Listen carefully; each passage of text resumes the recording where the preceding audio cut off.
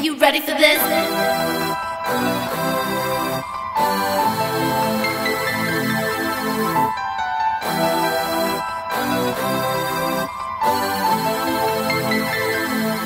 Are you ready for this?